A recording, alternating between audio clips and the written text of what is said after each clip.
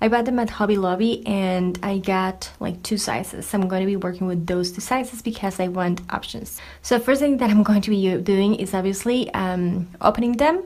Then I'm going to be taking a nail file and I'm going to be working to actually uh, get rid of like the pointy part because it's the first thing that you should do. You should never put a pen onto your skin that it closes though. This is how much I ended up getting rid of. Pretty much equally important as getting rid of like a pointy part, which is disinfecting it. For that, I'm going to be using this, I believe this is called like paint mixing palette or, you know, something like that. Just anything that you can pretty much pour liquid into it. Placing my safety pin earrings and I'm just going to be soaking them into ethyl alcohol. Pretty much sure that I could use them and they were safe for me to use.